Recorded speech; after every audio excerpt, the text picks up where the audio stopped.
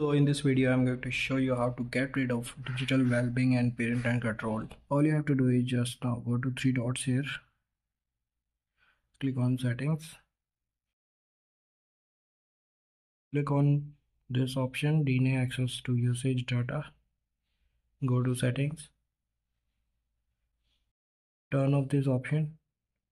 Go back and now you can see there is no usage of our data.